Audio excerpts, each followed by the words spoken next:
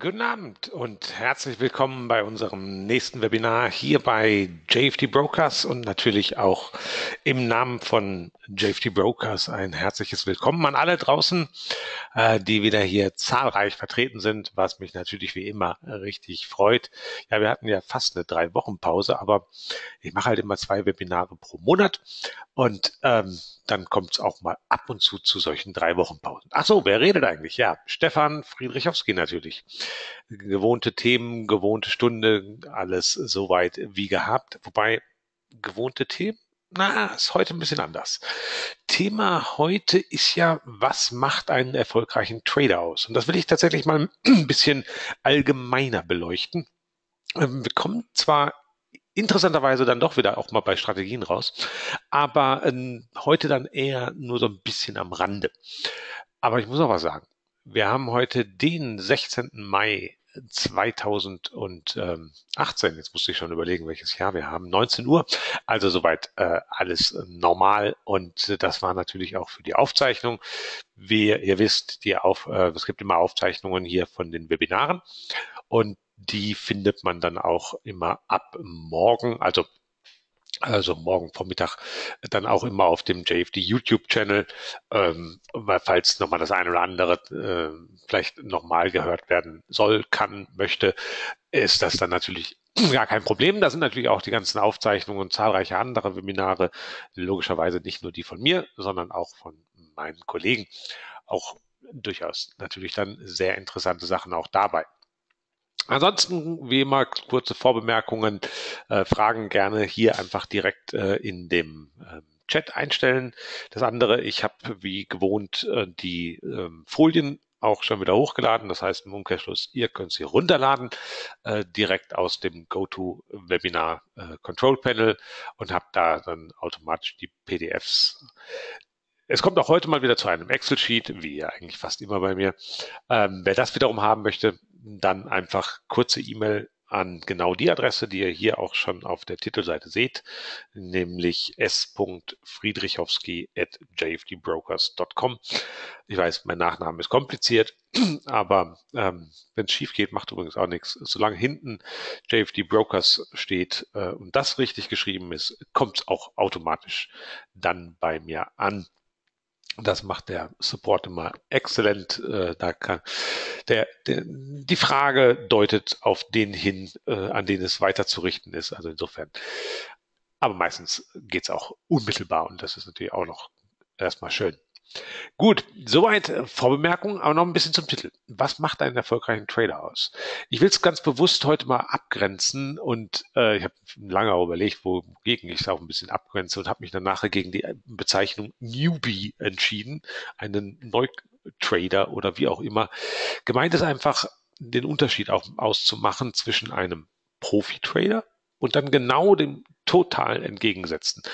Dass wir irgendwo alle immer auch natürlich dazwischen sind, sowohl vielleicht mehr noch äh, auf der Anfängerseite ähm, oder vielleicht schon komplett auf der Profi-Seite, ist klar. Aber mir geht es um ein paar Eigenschaften, ähm, nämlich mh, was dann wirklich den erfolgreichen Profi-Trader, ich ziehe wirklich auf den Profi-Trader sogar ausmacht. Das gilt allerdings genauso für den erfolgreichen Hobby-Trader.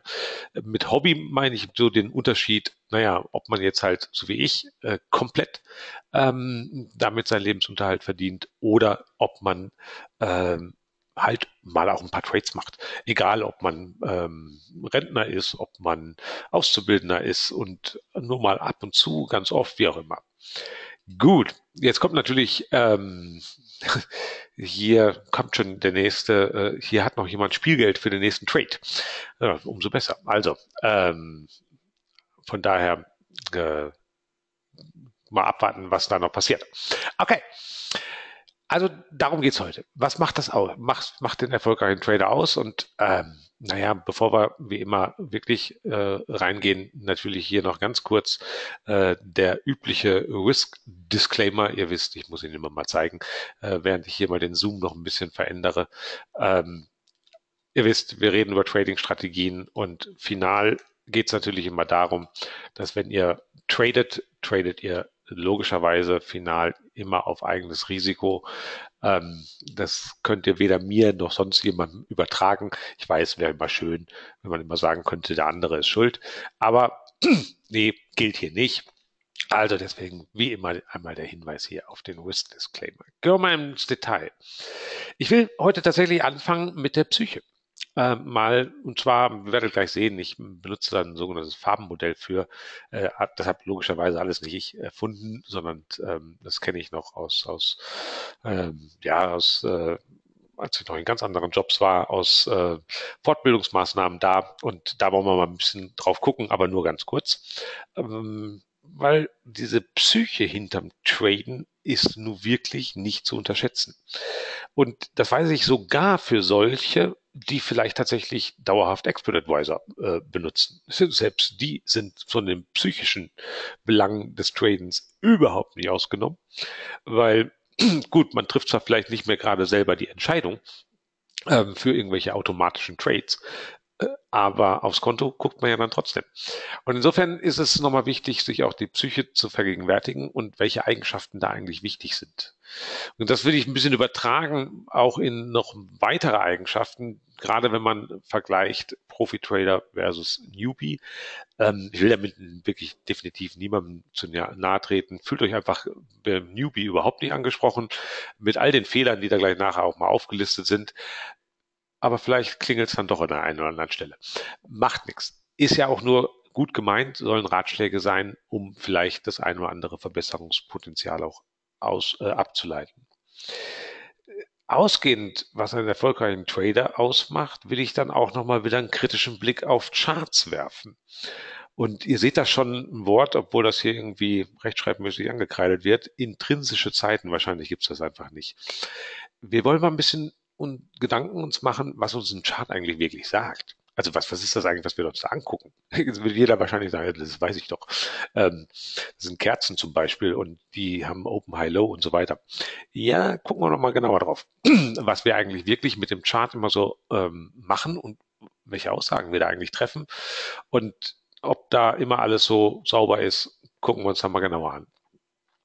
Was natürlich einen erfolgreichen Trader wirklich ausmacht, ist, er nutzt fundamentale Edges. Ich habe jetzt mal bewusst hier nochmal so ein englisches Wort hingesetzt, weil das bürgert sich so in der Trading-Szene ohnehin immer mehr ein, dass man über den Edge redet. Der Edge ist einfach nur die englische Übersetzung von Wahrscheinlichkeitsvorteil. Und wenn ich da fundamental sage, dann meine ich jetzt nicht die Fundamentalbewertung einer Aktie, sondern einfach grundlegende Aussagen, die man einfach machen kann, um schon bereits Wahrscheinlichkeitsvorteile zu haben. Das geht natürlich. Und die gilt es zu nutzen. Und dann wollen wir das noch ein bisschen weiter runterbrechen, indem wir uns auch nochmal den Forex-Markt ein bisschen vornehmen und da auf ein paar Edges gucken, weil auch da lassen sich ein paar Sachen ableiten. Schließlich und endlich will ich, habe ich einfach mal eine Seite mit ein paar Weisheiten aufgeschrieben. Ihr seht schon, da habe ich ein Smiley hintergesetzt. Ähm, das ist natürlich alles irgendwie nicht völlig neu und der eine oder andere kennt auch die Sprüche, die ich da vielleicht schon mal aufgesammelt habe. Aber ich will sie einfach nochmal sammeln und äh, hier auch nochmal zeigen, weil die schon wahnsinnig viel zu sagen haben. Fangen wir an mit der Psyche oder mit den anderen Aspekten des Tradens oder was denn einen erfolgreichen Trader ausmacht. Ich mache erstmal nur eine Folie und eigentlich könnte ich mein ganzes Webinar hier schließen. Was eine ganz wichtige Eigenschaft eines Traders ist, ist eigentlich die emotionslose Disziplin. Ich sage bewusst hier zwei Wörter. Es ist einerseits die pure und reine Disziplin bei all dem, was wir hier am Rechner dann tun. Also jeder darf natürlich gerne seinen Rechner nehmen vor die nächste Wand schmeißen. Ähm, da hätte ich jetzt noch nicht mal das größere Problem mit, solange es nicht meiner ist. Es geht mir insbesondere halt um den Umgang mit den Trades. Die verdienen und müssen eiserne Disziplin kriegen. Und emotionslos, ich will uns jetzt hier nicht zum Roboter machen, um Gottes Willen. Natürlich darf man sich auch mal ärgern, alles keine Frage. Aber das darf nicht einen Einfluss auf meine Disziplin haben. Also darf dann mein Regelwerk nicht über den Haufen werfen. Und ähm, man kann das mal kaum oft genug betonen, wie wichtig diese zwei Wörter oder insbesondere das zweite, nämlich die Disziplin ist. Und wer mal sich selbst hinterfragt, das kann ich selber auch nur zu gut äh, von mir sagen, das wirklich anzuwenden, ist eine absolut hohe Kunst. Auf so einem Stück Papier oder hier auf dem Bildschirm tut sich das immer so leicht und jeder sagt, ja, mache ich. Ähm, aber hier absolut ehrlich zu sich zu sein und sagen, ja, ich bin hier diszipliniert, ich habe meine Regeln, ich halte mich an meine Regeln und das 24-7 ist nicht einfach. Und verdammt schwer sogar. Ich gehe manchmal sogar so weit, das ist die größte Hürde beim Traden. Ähm, deswegen betone ich das immer so. Umgekehrt weiß ich, dass viele sagen, oh ja, mache ich ja. Aber erwischt euch mal selbst. Irgendwann kommt dieser Moment, ihr guckt auf den Chart und macht irgendetwas. Ihr zieht plötzlich Stopplosse hin und her oder ihr geht einfach mal einen Trade ein, weil ihr denkt, pfuh, also naja, Euro, US-Dollar Short klingt doch jetzt mal super. Und macht den mal einfach. Ähm, und ihr wisst, was immer danach passiert. Ein Tag später ist dieser Trade womöglich im Gewinn, womöglich im Verlust. Und dann kommen immer diese Zusatzschlussfolgerungen, die dann aus dieser Statistik 1 gemacht werden. Ganz schlecht. Deswegen jetzt gar nicht damit anfangen. Disziplin vorher, Regelwerk. Nur wer das absolut für sich vereinigen kann, hat, und da bin ich so knallhart, das Zeug zum erfolgreichen Trader. Diese Disziplin ist hundertprozentig nötig. Warum ist das nicht so einfach? Kurzer Blick auf ein Modell. Ich muss gestehen, ich weiß nicht mehr, von wem es ist. Es ist so ein Drei-Farben-Modell.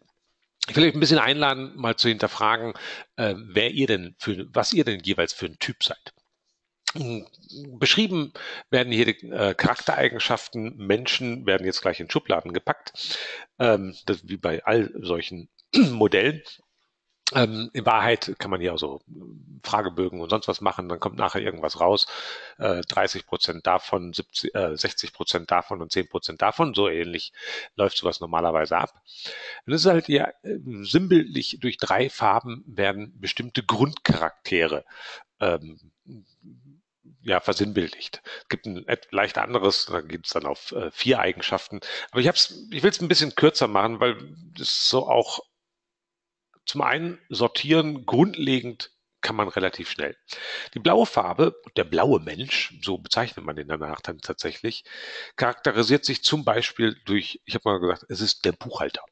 Das ist so, so also wenn man Beruf als ähm, Musterbeispiel für diese blaue Farbe nimmt, dann ist ähm, tatsächlich der Buchhalter ähm, sozusagen ein, ein gutes Grundbeispiel. Er ist absolut rational, er ist wohl organisiert, alles ist geordnet. Auch der Lebensablauf ist in aller Regel total geordnet. Total entgegengesetzt, gewissermaßen auf der einen Seite, ist dann der rote. Das ist typischerweise so ein Bestimmer. Man erkennt ihn zum Beispiel daran, wenn man meinetwegen mit zehn Leuten in einer Kneipe sitzt, wer so dieser Gesprächsführer ist, dieser, der irgendwo das leitet, so ein bisschen bestimmt. Er ist der, der auch eher auffällt. Meistens redet er auch lauter. Also er ist irgendwo so ein Leader. Leader klingt immer schon gleich so positiv. Ich nehme mal gleich die negative Eigenschaft mit dazu. Er ist aber auch gleichzeitig so der Ego-Typ. Also der, der auf sich selbst guckt. Äh, der weiß, was er will und kümmert sich eher nicht darum, was andere wollen. Ähm, das ist so dieser rote Typ. Jetzt könnte man meinen, klassischerweise sind zum Beispiel Firmenbosse solche, solche Menschen. Ähm, man sagt insbesondere Steve Jobs nach, äh, ist er nochmal? Steve Jobs nach, dass er genau ein solcher Typ war. Also das sind die Roten. Dann gibt es noch die dritte Kategorie, die grünen Menschen. Das sind so eher die, diese Familienmenschen, so diese Gefühlsleute, die einfach danach achten. Also so erste Frage, man trifft jemanden, hey, wie geht's denn dir? Das ist so der Klassiker für den Grünen, er ist so der Kümmerer ähm, der darauf achtet, ähm, bei einer Wandertruppe, hey, sind noch auch wirklich alle da, man nach hinten guckt, ähm, nach vorne guckt und einfach nach den Kindern schaut und, und, und. Also das sind die, alles diese Eigenschaften. Und jeder kann mal für sich selbst so ein bisschen die Frage, ähm, ähm, die Frage äh, stellen, wo er sich denn hier selber wiederfindet in diesen Farben.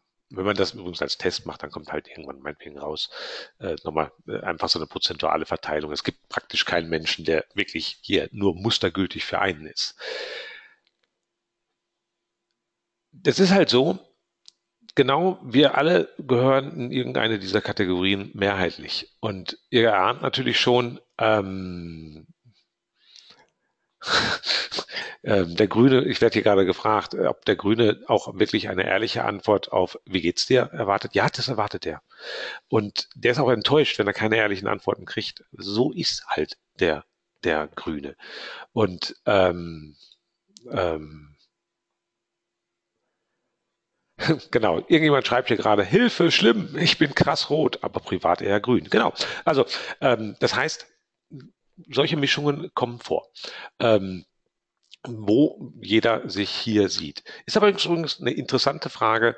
Ähm, man kann übrigens auch grundsätzlich sagen, wer kann hier eigentlich mit wem, äh, wer ist für welche Jobs vielleicht eher geeignet, wer übernimmt Rollen. Das Ganze kann man sehr, sehr gut ausdehnen. Äh, wie gesagt, gibt es ganze Bücher zu. Mir geht es um was anderes. Ihr ahnt natürlich, dass es hier bestimmte Eigenschaften gibt, die fürs Traden ideal sind. Und logischerweise ist der ideale Trader hier hinter, hinter diesem Farbmodell der blaue. Keine Frage. Ich habe gerade schon nur von Disziplin geredet. Und logischerweise findet sich der blaue hinterm Traden am ehesten wieder. Was übrigens danach die nächste schöne Schlussfolgerung ist, wenn man mal sich in der Börsenszene umguckt, also diese, ähm, diese ganzen Marktschreier und ähm, Leute, die, die halt äh, ja auch viel über Traden schreiben, äh, von sich geben und und und, sind genau nicht die Blauen. Ähm, eher nicht. Die gehören immer eher tendenziell zu den Roten. Das sind die, die dann übers Traden reden. Ähm, aber vielleicht dann doch nicht, ähm, naja, ihr, wisst, wie ich dazu stehe. Ähm, kommt gerade eine sehr interessante Frage, wo denn hier am ehesten die Kreativität äh, zuzuordnen ist. Also besonders kreativ ist sogar eher der Grüne. Da wäre diese Eigenschaft zu, äh, zu finden, der ähm, also ein, ein, ein Künstler, wenn man mal den nimmt, ähm, leid, gehört grundsätzlich eher in die grüne Eigenschaft. Ihr wisst, Van Gogh war wahrscheinlich eher ein roter Typ, zumindest das, was ich mal über den äh, gehört habe. Also auch da gibt's natürlich dann ähm, ähm, andere Sachen. Jetzt kriege ich natürlich schon gesagt, lass doch bloß keinen Buchhalter traden. Ah, da wäre ich mir mal nicht so sicher. Also, ähm, wenn ich ad hoc hier irgendjemandem meinem Geld anvertrauen würde, dann äh, doch lieber dem Blauen. Er ist halt der, der die Dinge organisiert, der das rational angeht. Und deswegen auch das ganze Bild. Will ich auch schon beenden. Mir geht es einfach darum, ein bisschen so den, den, den Blick zu öffnen. Ähm, sich selbst mal einzuordnen, auch immer mit dem Blick auf, um erfolgreich zu sein, brauche ich diese Disziplin. Ich kann nicht dieses Hin und Her schwanken zwischen Strategien, zwischen meinen Emotionen. Hilfe, was passiert denn als nächstes? Und, und, und. No way. Deswegen diese Nüchternheit. Heißt, als Trader, wir sollten praktisch diese blaue Ader ausbauen. Ich bin übrigens tatsächlich auch nicht der Mustervertreter der blauen Ader. Ähm, also ich kenne tatsächlich die Resultate für meins ganz gut. Weiß aber, deswegen nenne ich das hier auch so, Trader sollten ihre blaue Ader ausbauen. Diese Eigenschaften sind zwar einerseits, keine Ahnung, ob wie wer da Erziehung oder Gene oder sonst was eine Rolle spielt, auf das Thema will ich auch gar nicht eingehen. Ähm, was wir allerdings auf jeden Fall können, ist, wir können immer auch Eigenschaften erlernen und vertiefen. Und hier fürs Traden die blaue Ader auszubauen, ist definitiv, also das, was dieses Rationale, dieses Emotionslose, dieses Durchdachte, streng nach Regeln, voll diszipliniert ausmacht. Ja, das kann man ausbauen. Und daran kann man auch tatsächlich definitiv ähm, arbeiten. Heißt im Umkehrschluss, dieses rote und grüne, diese beiden Eigenschaften, die kann man aber auch wiederum ein bisschen kontrollieren.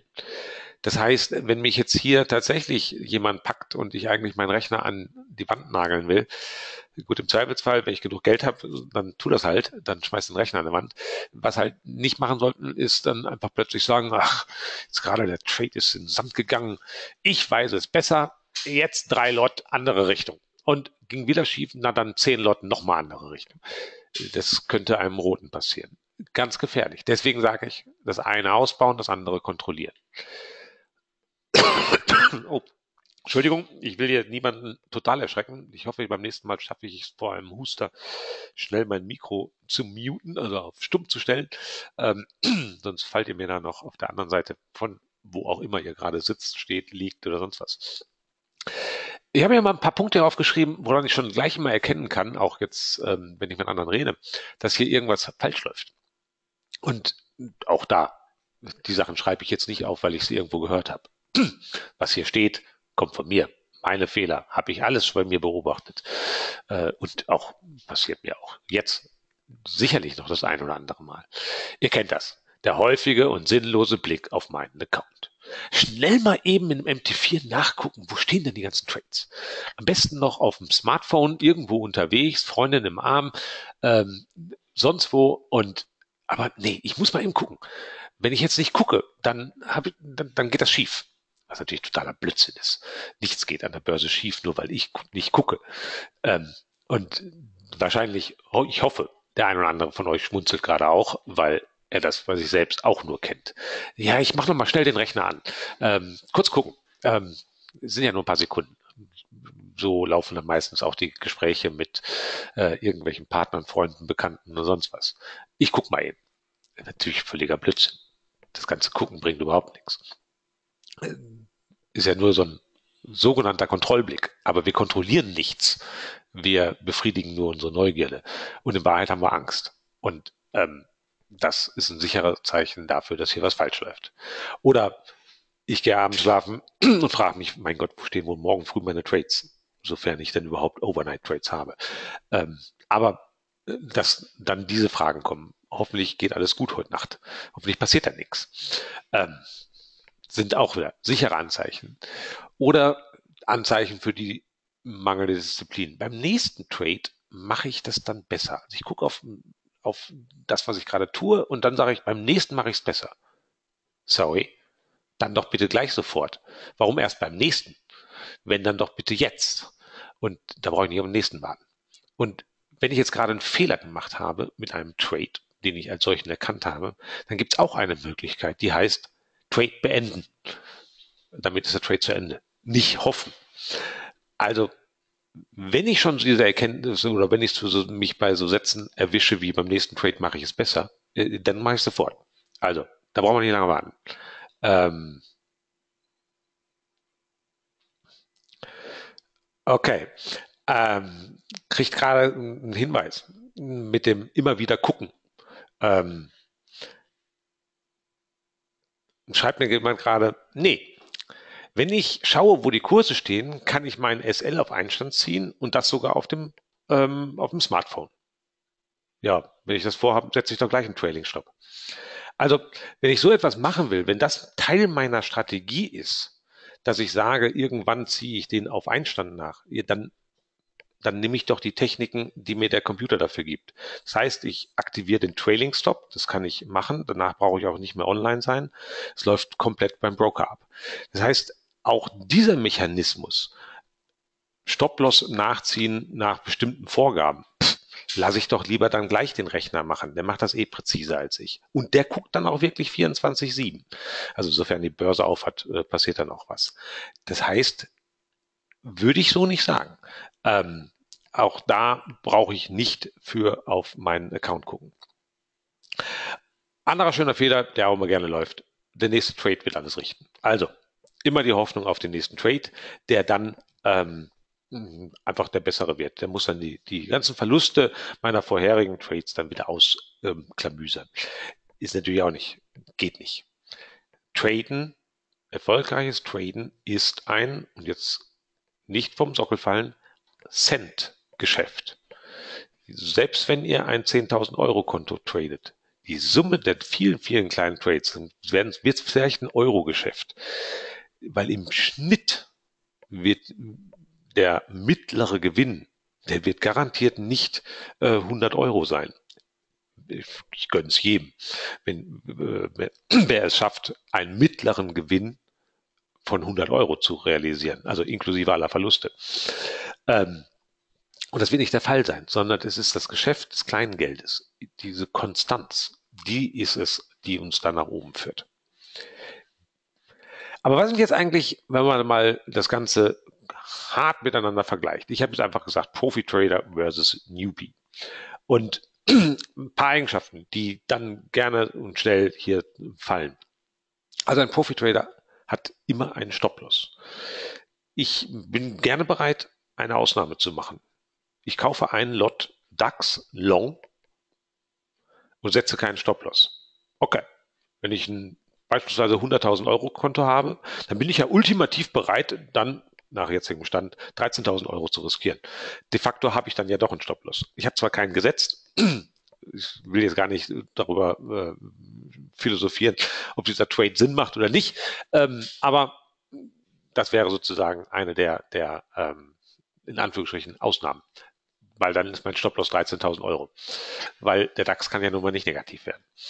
Aber ansonsten gilt, jeder Trade hat einen Stop-Loss. Ihr wisst, selbst der Stop-Loss ist nicht das Allheilmittel, um sich zu schützen. Wir wissen, wir haben Gaps, Over-Weekend Gaps, je nach ähm, Instrument auch Overnight Gaps. Ähm, aber was wir immer machen sollten, ist den Stop-Loss setzen. Der vielleicht äh, hier völlig äh, unerfahrene setzt vielleicht einen Stop-Loss, nachdem der Trade läuft. Heißt aber dann im Umkehrschluss, eigentlich wusste er gar nicht beim Aufgeben des Trades, wie sein Risiko ist. Weil zwei Dinge be bedingen sich ja immer gegenseitig, nämlich die, das Ordervolumen und wo der Stop-Loss ist. Das legt ja erst das Risiko fest. Das heißt, wenn ich diese Frage nicht ordentlich beantworten kann, habe ich eigentlich immer ein Problem. Dann ein Trade aus einer bestimmten Strategie hat immer ein definiertes Risiko. Was der Anfänger gerne macht, ist dieses Risiko immer nur so nach Belieben anpassen. Ja, jetzt mal 30 Euro für den nächsten Trade. Hm, ach, jetzt lieber 10 Euro. Jetzt, da habe ich ein gutes Gefühl. Jetzt gehe ich auf 100 Euro für den nächsten Trade als Risiko. Das ist Quatsch. So etwas muss ein Regelwerk haben wie überhaupt die Trades an sich. Das heißt, Trades sollten nach einem festen Regelwerk laufen. Ähm, und das macht natürlich der Profi-Trader. Es ist ernüchternd, wenn man mit Leuten auch von den ganz Großen reden, wie die traden. Es ist wirklich ernüchternd. Man, ich gehe sogar so weit und sage, traden wird dann interessant, also aus Sicht der, ähm, wie sehr man drinsteht, wenn es schon wieder langweilig bald wird. Weil nur dann äh, folge ich auch meinen Regeln. Der Anfänger geht vielleicht hin und macht so ein Strategiehopping.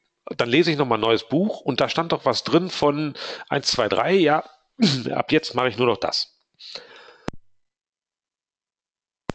Das heißt, ich habe eine Strategie, sogar auch als Anfänger, mache damit zehn Trades, denke mir, pff, jetzt bin ich in Summe ins Minus gelaufen, neue Strategie. Das nenne ich immer Strategie-Hobby. Ähm, dann auf der Suche im Internet, im Webinar nach der nächsten. Und so hangelt man sich dann von einem Drawdown in den nächsten ähm, und wird auch nicht wirklich glücklich. Was ganz wichtig ist, was jeder Profi-Trader macht, ist natürlich Edges nutzen, also diese Vorteile nutzen. Kommen wir auch nachher dazu, weil ich ein paar einfach auch nochmal direkt hier auflisten will. Ich kann nur einen Trade eingehen, wenn ich aus einer grundlegenden, aus einer Vorüberlegung, aus einer Untersuchung heraus weiß, dass das auch tatsächlich einen Wahrscheinlichkeitsvorteil, also final sogar einen Gewinnvorteil darstellt. Wenn ich, nur wenn ich das weiß, dann sollte ich auch den Trade eingehen. Und nur weil ich drei Linien in den Chart male, die ich dann Unterstützung, Widerstand und sonst was nenne, ist das noch lange kein Edge, sondern das reicht nicht ich muss wissen, dass dies auch wirklich einen Vorteil darstellt. Und nur dann. Ich sage tatsächlich im Umkehrschluss, der Anfänger nutzt zu gerne die Charttechnik. Ich bin nicht derjenige, der sagt, sie kann gar nicht funktionieren. Nee, worauf ich immer appelliere, ist, die Charttechnik macht es uns scheinbar so einfach. Die Linien lassen sich immer leicht reinmalen. Unwahrscheinlich leicht. Aber ob sie dann auch eine Bedeutung haben, dahinter darf man dann ruhig mal so ein Fragezeichen machen. Und nur weil darüber hunderte von Büchern geschrieben wird, wird es auch nicht besser. Und selbst die Aussage, naja, äh, ist so eine Art selbsterfüllende Prophezeiung, weil es ja alle anderen machen, Vorsicht. Es machen zwar vielleicht viele weitere hundert oder auch tausende private Trader. Der Große macht's aber nicht. Und der bewegt die Börse. Nicht wir. Nicht der Kleine. Wir bewegen nicht die Börse. Das heißt, mit der selbsterfüllenden Prophezeiung, no way. Dafür sind all unsere Konten auch zusammen viel, viel zu klein. Wir bewegen gar nichts an der Börse. Also äh, nur weil wir äh, ein paar Linien reinmalen, äh, erfüllt sich automatisch nicht diese Prophezeiung. Definitiv. Antwort nein. Ihr kennt die Zahlen. Wie viel Trillionen hier bewegt werden täglich am Devisenmarkt. Also von daher machen wir da gar nichts. Der Profitrader macht auch noch was anderes. Er ist wirklich geduldig. Ich habe jetzt mal hier geschrieben wie eine Raubkatze. Einfach nur, so ein Löwe, der kann da einfach sitzen, warten, warten, warten, warten, bis sich was bietet. Und wenn sich die Chance bietet, dann. Als Anfänger habe ich selber auch gemacht. Neigt man wahnsinnig gerne zum Overtrading in mehrfacher Hinsicht. Man ähm, macht die Order zu groß, also man überhebelt sich gewissermaßen, auch wenn man noch weit weg ist vom Margin Call, aber äh, man macht einfach immer viel zu große Order. Riskiert pro Trade eine viel zu große Summe bezogen auf die Kontogröße. Und immer nach dem Motto, oh, jetzt habe ich die letzten drei Stunden schon kein Trade gemacht. Jetzt wird aber mal Zeit, dass ich hier mal einen Trade absetze. Ich hoffe, ihr findet euch wieder äh, bei dem einen oder anderen, was da steht. Der Profi-Trader schaut nach einer moderaten Rendite. Der Anfänger träumt und will die Konto Kontoverdopplung in wenigen Monaten. Und wer das anfängt durchzurechnen, was das bedeuten würde, wenn das denn ginge, muss schnell zu dem Schluss kommen, dass das nicht gehen kann. Wenn das möglich wäre, dann sofort bei mir melden. Ich bin dabei. Ich stelle mein Geld zur Verfügung. Wer das nachhaltig äh, beweisen kann. Es kann gar nicht gehen. Es ist wieder der gesamten Wirtschaft. Stellt euch eine Firma vor, die es schafft, Wahnsinnsgewinne zu machen. Jetzt wirklich Wahnsinnsgewinne. Also hier Renditen im Sinne von Verdopplung in Monaten. Was würde man denn machen? Da gäbe es doch einen Haufen Interessenten, oder nicht? Die viel Geld bereit wären, das sich einzukaufen. Sehr viel Geld. Und in Wahrheit kann es gar nicht funktionieren. Wo soll es denn herkommen? Es gibt dann andere, die es adaptieren. Also, völlig unmöglich. Ich sage das so knallhart, auch wenn das keiner hören will. Und man dann doch wieder morgen von einem auf Facebook von jemandem liest, der es schafft, nach zwei Monaten sein Konto verdoppelt zu haben. Ihr lest halt nicht, dass es noch weitere 100 Varianten gab, die alle ihr Konto ruiniert haben. Und deswegen, das sind immer ähm, sozusagen die, die, ähm, die Lucky, nicht Loser, sondern wie heißen die dann? Lucky, ich nenne das aber Lucky Winner. Dann ist das mal plötzlich möglich. Aber das ist keine Nachhaltigkeit. Das kann man garantiert nicht über Jahre hinweg so machen. Ich hoffe, ihr verzeiht mir diese Deutlichkeit. Ähm, und ich will trotzdem auch den anderen Aspekt noch sagen. Auch den will ich beim Traden überhaupt nicht von der Hand weisen. Traden macht auch Spaß. Und ähm, gerade als ich das wirklich noch als, als äh, reiner ähm, Feierabend-Trader gemacht hat, war es auch insbesondere mein Spaß. Und warum nicht? So what? Wenn man dabei nicht Tausende von Euros pro Monat verballert, ist ja auch noch alles okay. Ähm, also den den Spaß, den gönne ich uns äh, allen. Ah, danke, Lucky Puncher, der war's. Der fehlte mir. Das, also die, die, die gibt's natürlich, die Lucky Puncher, dass man einfach mal, aber die sind verdammt selten und garantiert nicht nachhaltig und nicht ständig wiederkehrend. Ähm, einfach nochmal sacken lassen. Das eine oder andere sollte immer den einen oder anderen auch treffen. Da bin ich mir nahezu sicher. Ansonsten würdet ihr mich wirklich überraschen, wenn ihr so diszipliniert seid, dass hier von gar nichts auch nur ansatzweise auch bei euch irgendwo zutrifft. Also ich nehme mich definitiv ähm, für äh, so manche Trading-Aktivität dann nicht grundsätzlich aus. Zumindest wenn ich off the road sozusagen dann trade. Ich habe gesagt, Charts, da bin ich immer so ein bisschen kritisch. Und will auch ein bisschen mehr sagen, warum. Hm, wir, klar, wir verwenden alle Candlestick Charts oder ähnliche Varianten. Also die sehen dann nur ein bisschen anders aus, aber ähm, sei es drum. Also mehr oder weniger. Wir machen das alles. Aber eigentlich ist ein Börsenkurs was anderes. Ein Börsenkurs ist eine sogenannte Zeitreihe. Eine Zeitreihe von Ticks. Jeder einzelne Trade bei wo und wem auch immer ist ein einzelner Tick. Und nichts anderes ist die Abfolge der Börsenkurse. Also eine Abfolge von Volumen und dem Match einer Kauf- und einer Verkaufsorder. Und dieser Preis ist dann der, der mit dieser Zeit verknüpft wird und nichts mehr. So ein Candlestick, so ein H1-Dingen, ist gewissermaßen die Komprimierung dieser einen Stunde einfach auf vier Zahlen. Und zwar den Open, also den ersten Kurs innerhalb dieser Stunde, den letzten, das ist dann der Close von dieser Kerze. Und irgendwann gab es natürlich innerhalb dieser einen Stunde, also dieser einen Kerze, weil ich ja auch allgemein über Candlesticks reden will, gab es natürlich ein High und Low. That's it. Ich weiß dann im Nachhinein, wenn ich die Kerze sehe, auch noch nicht mal mehr, was zuerst da war, High oder Low, und, oder ohnehin weiß ich gar nicht, wann denn die Kerze, also, äh, also wann High und Low überhaupt aufgetreten sind. Was tatsächlich noch schlimmer ist, ich weiß noch nicht mal die Reihenfolge. Das heißt, ein Candlestick ist nichts anderes als die Komprimierung einer Stunde von Ticks auf diese vier Zahlen. Und kein bisschen mehr. Wenn ich jetzt anfange, da groß was rein zu interpretieren, ich mache gleich noch Ausnahmen, äh, keine Sorge, weil es gibt schon noch Ausnahmen. Woher? Warum? So what? Ich weiß gar nichts über die Stunde, wenn ich diese Kerze da sehe. Also wenn es eine Stundenkerze ist. Ich weiß nichts. Ich weiß den Open, ich weiß den Close und ich weiß, wo das High und das Low war. Mehr nicht.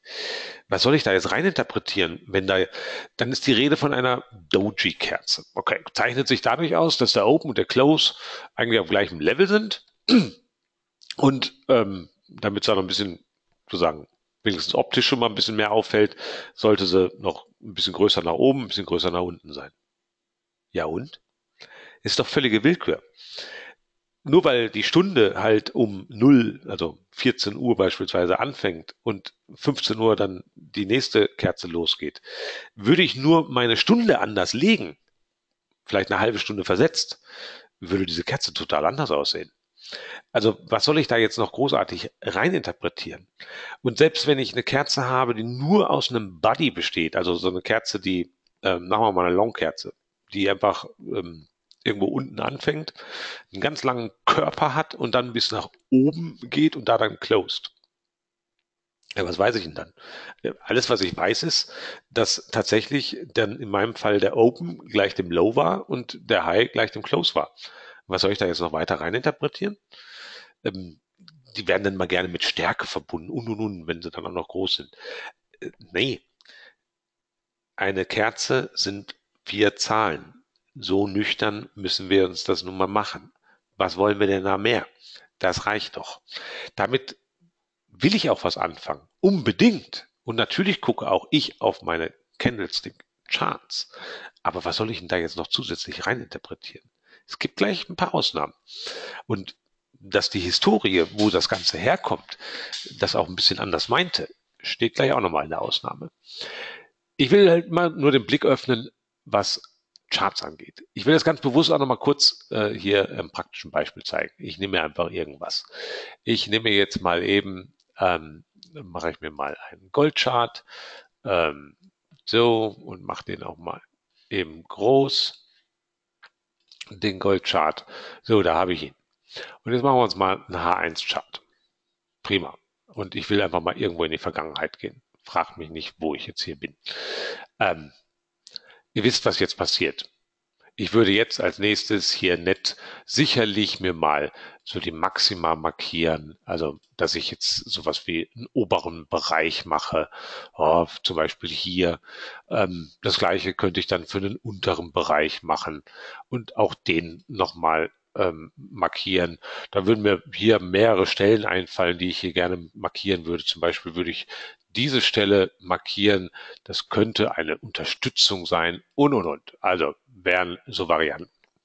Das andere, was man natürlich anfängt, ist, man würde hier mit 1, 2, 3 Manier Hochs und Tiefs und dann die Trends äh, genauer beschreiben. Ich empfehle euch immer eins. Macht das mal so ähnlich, wie ich das jetzt gerade auch mache. Ich bin einfach ähm, äh, versucht, jetzt ist mir glaube ich gar nicht gelungen, einfach an irgendeine Stelle im Chart gegangen, um jetzt anschließend doch mal wieder zu scrollen, wie es denn weitergeht. Jetzt war ich nur leider schon am Ende. Okay, zweiter Versuch. So, das wollte ich so genau nicht. Ich wollte eigentlich irgendwo hin, wo ich dann vielleicht nicht so genau weiß, wo ich bin und mal dann hier meine Linien ich mache es jetzt mal ganz auf die Schnelle, macht mal so ähnliche Experimente. Ähm, ihr werdet sehen, es ist immer wieder äh, herrlich.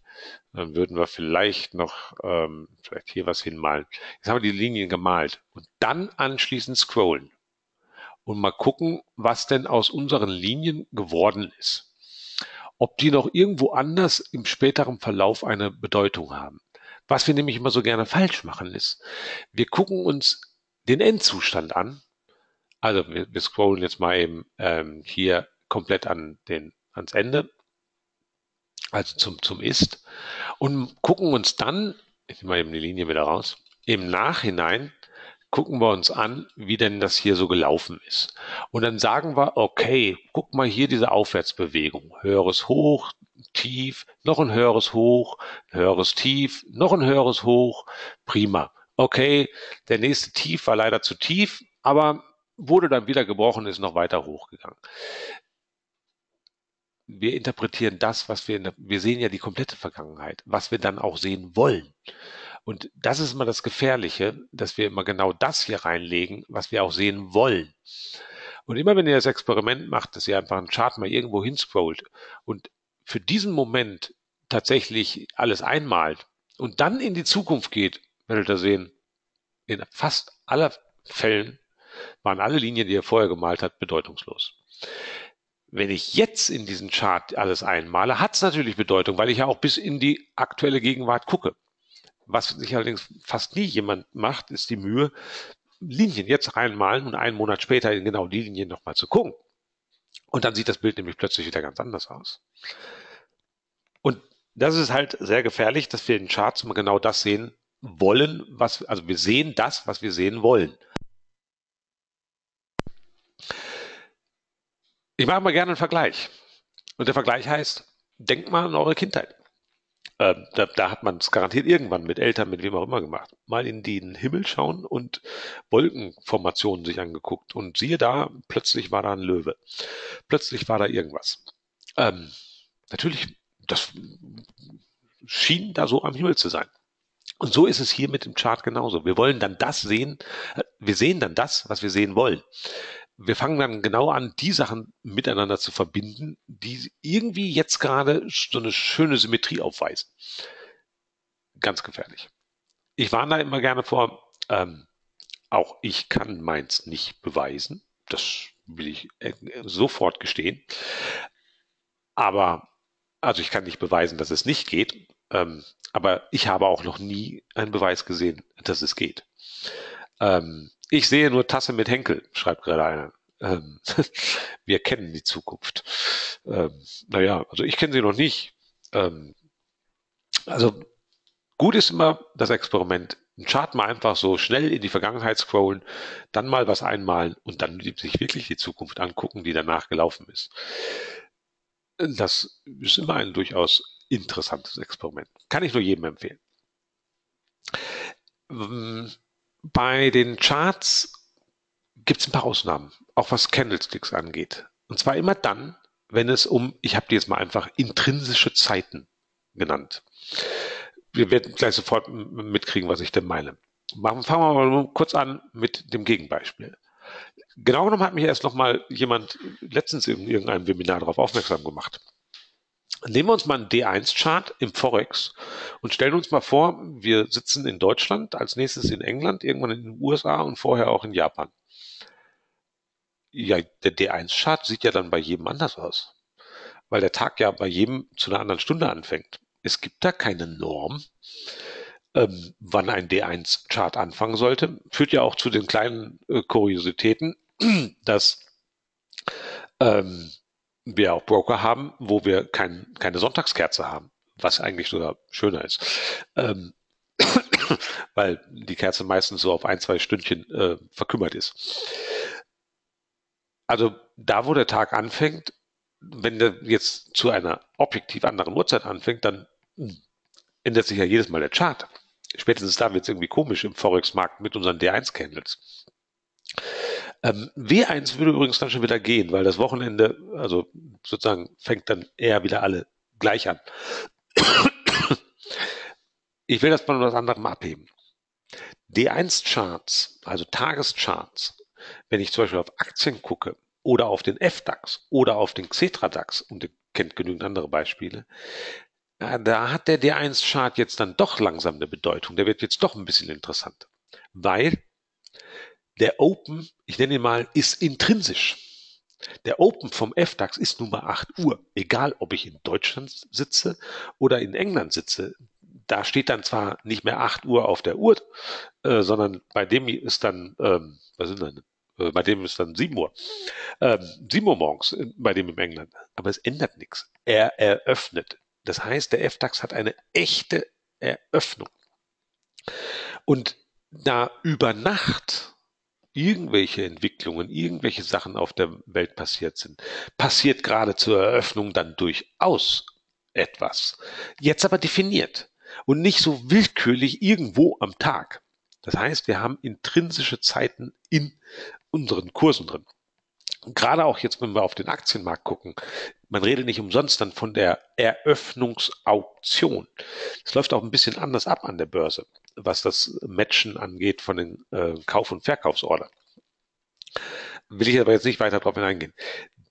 Da kriegt jetzt plötzlich der Open dieses D1-Charts eine an, andere Bedeutung als der Open dienstags morgens 0 Uhr im Euro-US-Dollar.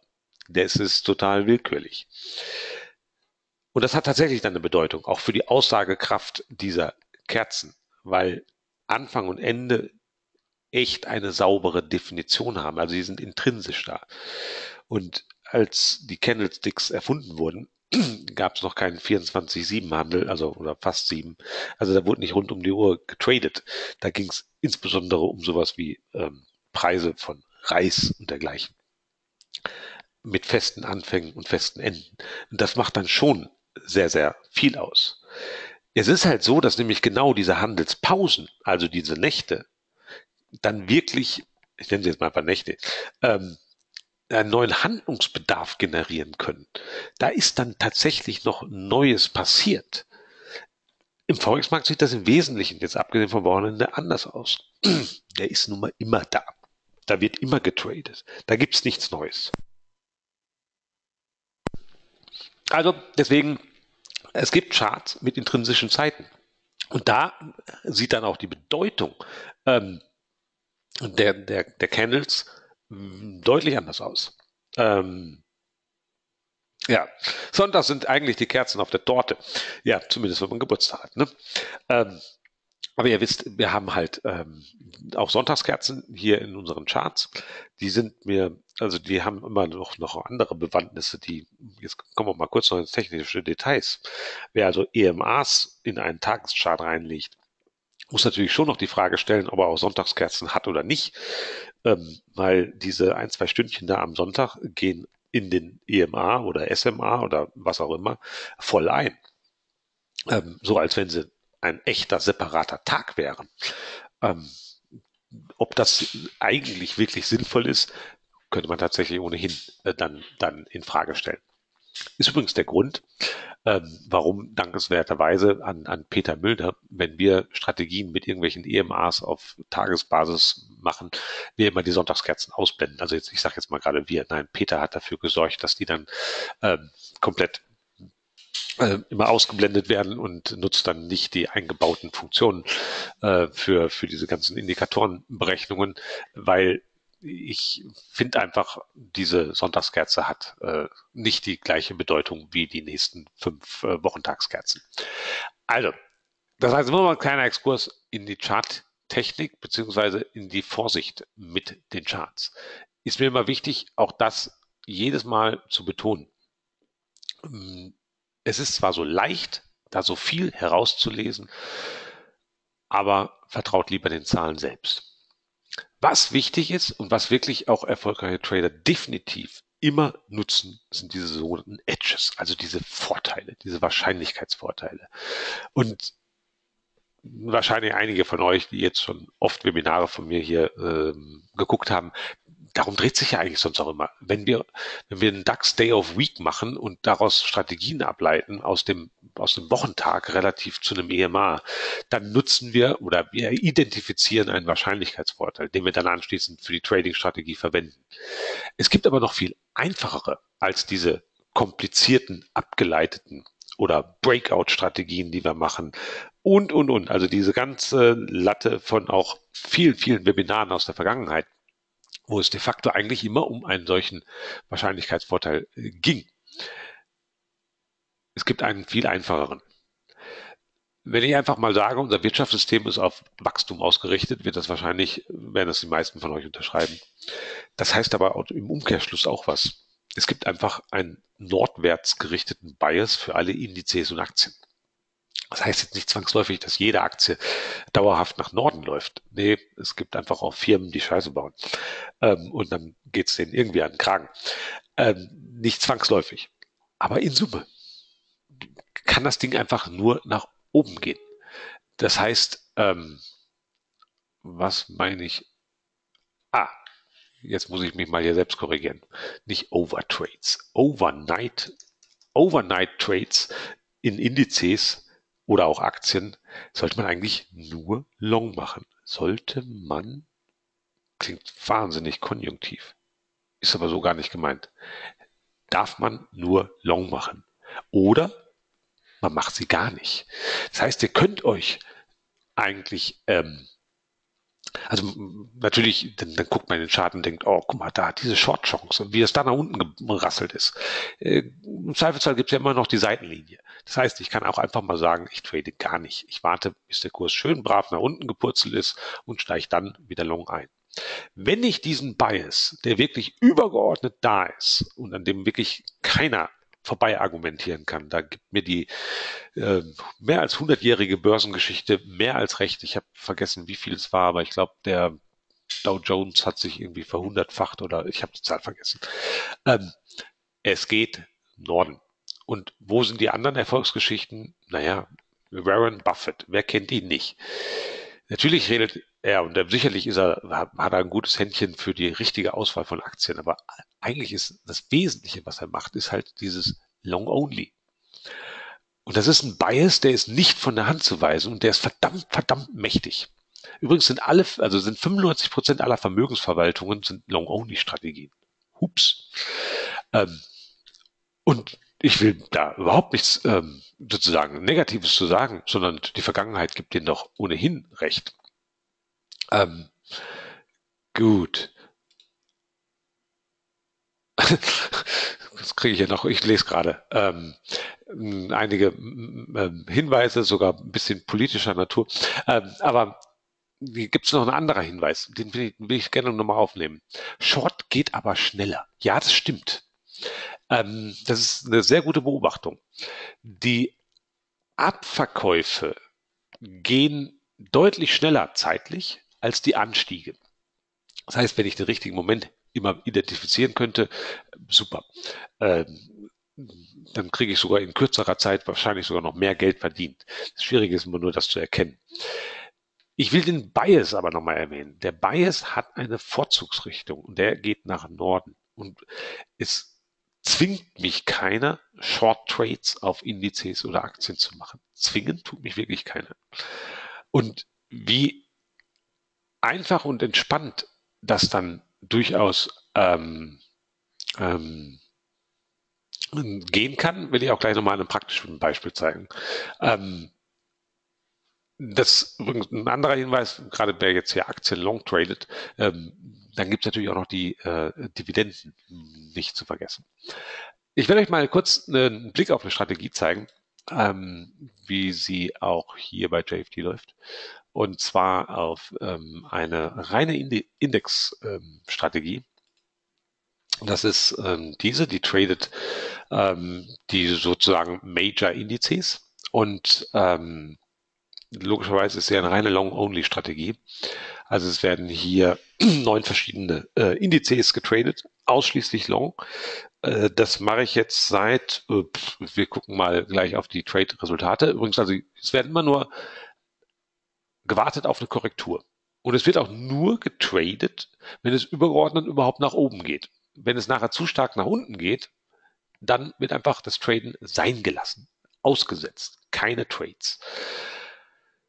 Diese Strategie hat auch ähm, den, den im Februar war es, äh, gab es ja mächtige Einbrüche an den äh, Märkten am besten zu verstanden. Das ist ihre Equity ähm, von das ist der Kontostand. Jetzt wenn, will ich auch so ehrlich sein und auch die, die Equity äh, tatsächlich zeigen. Das heißt, da sehen wir auch zwischendurch die Floating-Verluste. Äh, die mit drin waren. Ist also eine Strategie, die jetzt hier seit Mitte November läuft, also ist ungefähr ein knappes halbe Jahr, ähm, hat äh, in der Zeit ähm, knapp acht Prozent ähm, verdient und ist eine reine Long-Only-Strategie. Das heißt, sie nutzt diesen Bias und nichts anderes. Und kaufen in der Korrektur. Und dann halten, bis wir den Gewinn realisieren. Und das ist ähm, eine relative ähm, entspannte Strategie. Only Long kann aber auch 20 Jahre Stillstand bedeuten, schreibt gerade jemand. Ja, ähm, 20, also jetzt, wenn man tatsächlich mal sich den 100-jährigen Dow Jones Chart, äh, Chart anguckt, dann findet man in der Tat äh, solche, ähm, solche Phasen. Und äh, sicherlich ähm, würden wir auch in der jüngeren Vergangenheit vielleicht fast so zehn oder fünfjährige Stillstände erreichen. Ihr wisst, in Wahrheit traden wir natürlich nicht eine Strategie, sondern mehrere. Wenn dann die eine Strategie gerade einen Stillstand aufweist und selbst über Jahre, so what? Das kriege ich über meine Diversifikation hin. Und äh, von daher, ich kann das natürlich nicht kleinreden, das gibt es natürlich. Ups, ich merke, ich rede hier in Summe viel zu viel. Ich bin ja völlig aus der Zeit gelaufen. Aber gehen wir weiter. Was sind andere fundamentale Biases? Ähm, fundamentale Bias sind natürlich auch ähm, im Gold und im Öl. Da mache ich mal einen kleinen Zusatzhinweis, wenn es nicht grundlegende technische Neuerungen gibt. Theoretisch könnte beides obsolet werden. Vielleicht erfindet jemand doch eine billige Art, wie man Gold, keine Ahnung, äh, auch anders herstellt. Frag mich nicht. Ich bin Physiker. Mir würden zwar Sachen einfallen, die sind aber alle nicht billig, ähm, wie man tatsächlich Gold herstellt. Aber die sind halt so teuer, dass sich das nicht lohnt. Ähm, und vielleicht findet man auch einen Ersatz für Erdöl. Wie auch immer. Grundsätzlich sind das Long-Kandidaten. Ich will immer nur auf eins hinaus. Unterschätzt diesen Bias nicht. Nutzt ihn. Wenn er doch schon da ist, nehmen wir ihn noch mit. Selbst positive Swap-Kosten können was Nettes sein. Ähm, das Forex-Universum ist so groß, ungefähr ein Drittel aller ähm, Währungspaare werden wenn man beide Richtungen äh, mitzählt, also Long oder Short, dann findet er in ein Drittel immer auch welche mit positiven Swap-Kosten. Ja, dann stürzen wir uns doch darauf. Zwingt uns doch keiner, ähm, ähm, unbedingt äh, Euro, US-Dollar Long zu traden. Wenn wir meinen, es ist gerade ohnehin die bessere Idee Short und dann auch noch den, so, warum nicht? Also, kann man machen. Äh, und einfach damit ausnutzen. Das Forex-Universum ist einfach groß genug. Und auch dazu, jetzt steht da schon MT4, ähm, gibt's, dann machen wir dann mal bei einem anderen Webinar mal eine komplette Strategie, äh, wie wir das genauer ausnutzen. Wir haben aber auch noch weitere ähm, Edges im Forex-Markt. Ähm, mal abgesehen von dieser Geschichte mit den ähm, Swap-Kosten. Das muss ich jetzt ein bisschen verkürzen, weil sonst glaube ich jetzt zeitlich wirklich völlig aus dem Ruder, indem ich euch nochmal ein Bild zeige, was wir in Wahrheit schon längst mal hatten. Aber ich muss es einfach nochmal zeigen, weil es so wichtig ist. Es geht um die Frage, wie weit in Prozent läuft typischerweise ein bestimmtes ähm, Paar, ein bestimmtes Underlying und hier, ich habe es jetzt bewusst, das ist tatsächlich dann wiederum das Neue. Äh, ja, wir hatten das nur so grundsätzlich mal dieses Bild. Ich habe es jetzt aber mal zeitlich ein bisschen weiter ausgedehnt, dass wir mal wirklich hier über längerfristige Zeiträume kommen, also bis hin zu einem Jahr. Wie weit prozentual läuft ein Währungspaar, und Gold habe ich jetzt hier mal als Währungspaar mitgenommen, eigentlich? Und ihr seht schon hier in dieser Art von Auftragung, also am weitesten wegkommen im statistischen Mittel über die letzten 14 Jahre tut Gold. Und zwar bei weitem. Also der Unterschied, den, den, den, den, den muss man sich, ähm, der gilt übrigens, das ist ungefähr ein Faktor 3 zwischen dem, ähm, sozusagen, der am weitesten läuft und der am wenigsten wegläuft. Das gilt für jede Zeit. Das gilt sowohl für die Stunde, wie die fünf Minuten, wie die vier Stunden, wie den Tag, wie 100 Tage oder ein Jahr dieses Bild ist wesentlich mächtiger, als man immer auf Anhieb erahnt. Ich will kurz die Achsen wieder auf logarithmisch machen, damit das nochmal deutlich wird, wie, äh, wie bedeutsam die Auftragung eigentlich ist. Ähm, weil in dieser doppellogarithmischen Auftragung sieht man, dass alle Kurven zu geraden werden. Und die haben alle knapp die Steigerung 0,5, das mal so eben nebenbei, äh, leicht abweichend. Wie groß also hier nochmal die Unterschiede sind bei einem Tag. Also Gold läuft typischerweise innerhalb eines Tages um 0,8 Prozent. Der, die Unterseite hier bildet Euro Schweizer Franken mit gerade mal 0,1, 0,2, 0,26. Das ist dieser knappe Faktor 3. Jetzt stellt euch vor, ihr macht eine Strategie. Ihr wollt Trendfolge machen. Ihr wollt, wenn Ausbruch, dann soll's losgehen. Mache ich das dann im Euro Schweizer Franken? Das Ding läuft doch sowieso nicht weg.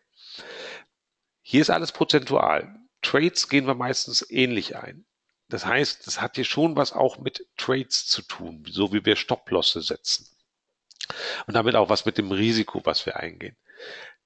Gucken wir also ganz nüchtern hier hin die sind in der Reihenfolge hier farblich ähm, oder die Reihenfolge, die hier auch in der äh, Legende ist, entspricht äh, ich will nochmal nachdenken, genau, der 10-Tages-Reihenfolge.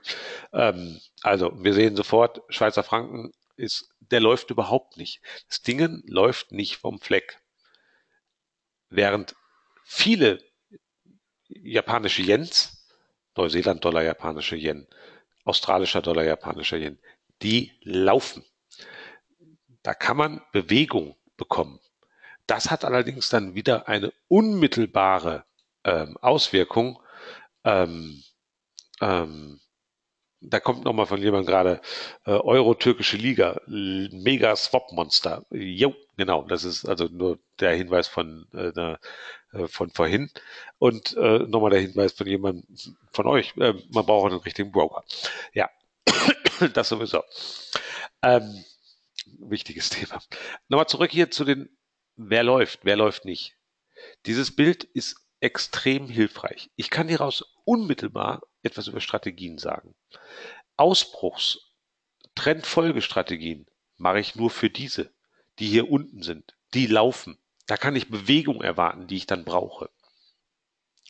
Mache ich Strategien, die mehr so auf Reversals gehen, also Kurs kommt wieder zurück, Seitwärtsphasen, ewige Seitwärtsphasen und an oberen Kanten gehe ich dann einfach äh, einen Short Train ein, weil das Ding ja sowieso wieder in, in seinen Kanal will und da drin ewig drei Tage verharren will. Die habe ich sofort hier oben stehen. Das sind die, wo ich mit Reversal Trades extrem gut arbeiten kann. Das heißt, ich habe auch für den Forex-Markt schon ad hoc eine Art Edge in der Auswahl, welches Underlying in welcher Strategie hilft mir wahnsinnig auch bei der ganzen Strategieentwicklung, um immer zu fragen, was mache ich denn wo. Zusammenfassend kann man hier sofort sagen, also die Strong Mover, das waren gerade so die Japanese Yens und, ähm, ähm, und Gold, sind ideal für Breakout-Trades, Trendfolgestrategien. Kriegen dann nachher ein Chance-Risiko-Verhältnis deutlich größer als eins. Um, weil wenn der Move kommt, dann pff, kann ich richtig was verdienen. Diese Weak Mover, also die, die eigentlich nicht vom Fleck kommen, kann man ideal benutzen für die ganzen Reversal Trades, Seitwärtskanal Trades. Und da kann man durchaus auch Trades machen mit CRVs kleiner eins. Ist immer überraschend äh, für den einen oder anderen, aber es gibt kein gutes CRV. Es gibt nur das richtige CRV für die richtige Strategie. Ähm, also CRV ist nicht deswegen gut, weil es meinetwegen 10 zu 1 ist. Ist kein bisschen erfolgreicher äh, ad hoc. Wenn ich das richtige Währungspaar auswähle, ja, kann ich schon eine Menge mit erreichen. Ähm, und zwar wirklich sehr viel. Ich hatte gesagt, ein paar Weisheiten. Einfach auch mal noch ein paar Sachen zum Schmunzeln. Also, ich würde mal sagen, ignoriere diese schönen Trading News, also die man so bei Facebook oder sonst wo äh, äh, liest. Äh, bei, ach, gibt es zig, zig, zig Beispiele, wo jemand von genialen Trades im Nachhinein berichtet oder schon in der Ankündigung. Also ich würde alle ignorieren, wenn ich nicht ad hoc weiß, welche Kompetenz hat denn der Schreiber. Äh, sonst brauche ich mich daran gar nicht sozusagen orientieren, weil dann ist es Cherrypicking. Dann sucht jemand so lange und schreibt so lange und löscht anschließend Beiträge, bis alles wieder passt. Oder ihr nehmt einfach die Devise, wenn ihr schon mal Veranstaltungen besucht, ähm, womöglich auch zu äh, Seminaren gebt, auch Geld äh, dafür ausgibt, mir deinen Kontoauszug. Diese Frage ist berechtigt an jeden Referenten von einer jeden Veranstaltung. Ähm, erst recht bei kostenpflichtigen Veranstaltungen. Zeig mir einfach deinen Kontoauszug. Die Frage dürft ihr gerne stellen. Da sollte jeder seriöse ähm, nur eine Antwort zu kennen. Ein Moment. Ich hole ihn eben.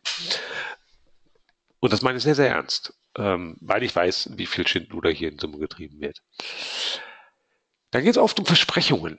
Ähm, und der Satz übrigens, den habe ich das erste Mal von jemandem anderem gehört, vom Heiko Seibel. Äh, da habe ich ihn aufgeschnappt. Ob er dann wiederum von ihm ist, das, das weiß ich gar nicht. Aber ähm, ich finde ihn einfach nur genial. Das gilt sowohl für Versprechungen als auch für irgendwelche ähm, historischen Equity-Kurven, ähm, die man vielleicht zeigt oder verkauft oder wofür auch immer einsetzt. Was zu schön ist, um wahr zu sein, ist zu schön, um wahr zu sein. Ich finde das Ding einfach so genial, weil es spiegelt wahnsinnig viel Wichtiges. Es ist dann halt zu schön. Das kann nicht sein. Also, es ist zu schön, um wahr zu sein. Und denken immer mal auch an diese, die hatte ich mal in einem anderen Webinar genannt. Es gibt in der Broker-Szene eine 90-90-90-Regel die übersetzt heißt, 90 Prozent aller Trader verlieren 90 Prozent ihres Kapitals in 90 Tagen. Das möchte ich gerne mit dazu beitragen, dass es nicht passiert. Und wer vieles von dem beherzigt, was auch heute im Webinar war oder auch in vielen anderen Webinaren, äh, hoffentlich kommt auch der Sache noch näher oder einfach, weil ihr gute Trader seid, diszipliniert seid und die Dinge da schon im Griff habt. Traden, erlernen ist ein echter Job. Das ist ein anderer Irrtum, der gerne gemacht wird. Natürlich brauche ich nur Stunden, um jemandem zu zeigen, wie ein Konto eröffnet wird, ein MT4 zu bedienen ist und wie man ein paar Trades ab, absetzt. Das ist wirklich kein Hexenwerk. Aber es ist in Wahrheit ein echter Job und den muss man erlernen. Und wenn ich hier schreibe, Break-Even kann man in circa ein bis drei Jahren erreichen, dann steht da einmal das Wort kann, nicht wird. Und ihr seht, es dauert. Es ist eine lange Durststrecke, die in der Regel ähm, da äh, gegangen werden muss. Und es ist nicht äh, von irgendwoher, dass ich das hier so schreibe, sondern entspricht auch sowohl meiner eigenen Erfahrung als auch vielen, vielen ähm, ähm, Gesprächen und äh, auch Coaching-Vorhaben. Ähm, kommt mir nochmal ein netter Hinweis. Also die 90-90-90-Regel äh, berichtet gerade jemand, manche können das aber in zwei Tagen. Ähm, also wahrscheinlich in zwei Tagen 90 Prozent ihres Kapitals verlieren. Also immer, wir sind nicht im Casino, sondern wir haben eine sehr, sehr ernste Angelegenheit. Wir sollten uns auch vergegenwärtigen, wenn man mal von Gegnern redet, wir alle Trades brauchen ja Partner und in den meisten Fällen sind das ja nicht wir untereinander, weil wir einfach nur ein verschwindend kleines Volumen an der Börse stellen. Nein, unsere Partner, also Gegner, also Trading-Partner, ähm, sind die ganz groß. Und die verdienen Geld. Und wenn sie es nämlich nicht tun würden, dann würden sie es einfach sein lassen. Ähm, weil, so wie das nun mal ist im Wirtschaftsleben, wenn ein Geschäftsfeld nicht mehr profitabel ist, dann macht man es im Zweifelsfall dicht. Vorher gibt es noch ein paar andere Möglichkeiten, aber ähm, wenn es gar nicht anders geht, dann hört man halt damit auf. Also, wer sind unsere Gegner? Unsere Partner beim Traden? Es sind die Großen. Und mit denen nehmen wir es auf. Das ist schon mal eine Herausforderung. Sollten wir uns aber auch wiederum ganz objektiv vergegenwärtigen. Jetzt habe ich heute wirklich verdammt viel und lange geredet. Bin etwas über die Zeit hinausgeschossen, hätte ich so gar nicht gedacht. Ich dachte eher, ich komme hier zehn Minuten kürzer raus. Ist aber nicht so. War ein bisschen anders heute. Ich will auch noch mal kurz zusammenfassen. Aber mir sind die Sachen extrem wichtig, auch wenn manche vielleicht belehrend erscheinen. Aber wenn ihr für euch zum Schluss kommt, habe ich verinnerlicht, läuft, super. Glückwunsch, finde ich klasse. Das meine ich sehr, sehr ernst. Ähm, für mich ist es so, dass ein Trader, einen erfolgreichen Trader einiges auszeichnet. Er ist halt extrem diszipliniert, guckt nach eurer blauen Ader und pflegt sie ein wenig. Er tradet nach festen Regeln. Er hat definitiv immer einen Stop-Loss, um unkalkulierten Risiken aus dem Weg zu gehen. Er nutzt genau die Wahrscheinlichkeitsvorteile, die er sich herausgearbeitet hat. Also er nutzt Edges oder er ist definitiv konservativ in seinen Erwartungen an die Resultate, die man mit dem Traden ähm, erreichen kann. Sehr konservativ. Wer da von Kontoverdopplungen in kürzester Zeit ausgeht, ist definitiv dann am falschen Platz. Das ist dann halt so ähnlich wie Casino. Nicht, dass das natürlich auch Spaß machen kann, will ich überhaupt nicht in Abrede stellen, aber natürlich muss man sich auch dem anderer möglicher äh, Konsequenzen ähm, ähm, bewusst sein. Also es gibt hier eine Aufforderung von einem. Nein, keine Aufforderung, sondern ein Vorhaben. Ich wiederhole es hier einfach. Anonym natürlich. Ich mache Goldman Sachs platt. Hat gerade jemand geschrieben. Viel Erfolg. Das kann ich auf jeden Fall sagen. Ich mache mit. Also, ich bemühe mich, äh, auch daran mitzuarbeiten. Also, sind wir schon zu zweit. Lass uns mal da was anfangen. Also, soweit von heute. Natürlich ähm, Feedback gerne, E-Mails. Ihr wisst, auch das Excel-Sheet, was ich vorhin gezeigt habe, könnt ihr wieder gerne auch, ähm, auch haben mit den Daten, um daraus andere Auswertungen ebenfalls äh, zu machen. Kein Problem, einfach eine E-Mail hier an äh, die eingeblendete Adresse sozusagen Wahrscheinlich hat der eine oder andere die Folien schon runtergeladen. Da steht sie natürlich dann im Zweifelsfall auch nochmal drauf. Soweit von mir. Natürlich euch noch einen wunderschönen Abend und ähm, in zwei Wochen kommt dann wieder zu einer direkten Strategie. Ihr werdet sehen. Da machen wir wieder was Neues. Einen Edge, den wir ja brauchen, wie wir wissen. Also, macht's gut. Bis dahin. Tschüss.